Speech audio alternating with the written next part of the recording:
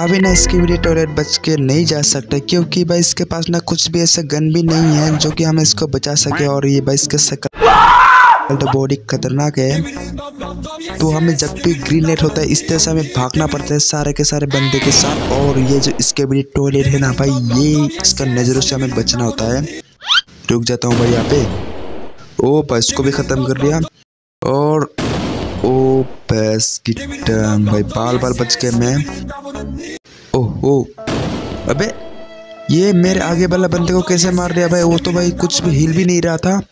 और बाल बाल बच गए भाई, इसका डिज़ाइन तो ओ पे भाई, एक सेकंड के लिए मेरे को मार दिया। साले, इसके भी टॉयलेट, मैं तेरे को छोड़ूँगा ना इस बार। देखो गाइस अभी लेवल वन से फिर से शुरू करना पड़ेगा मेरे को। अब चल चल चल चल।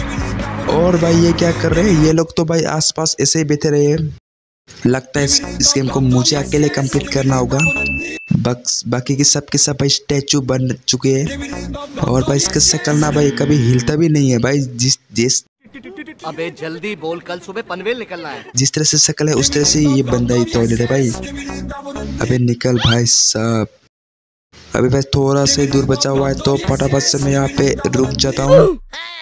एक काम कर लेता मैं ना और टाइम रुक देता हूँ, वरना भाई मेरे को ख़त्म कर देगा ये। जब लास्ट वाले पोजीशन आएगा तो हमें कुछ इस प्रकार से निकल निकल निकल और हम ये बन चुके हो वैक टू वीडियो को अच्छी लगी तो लाइक करें मैंने तो सब्सक्राइब कर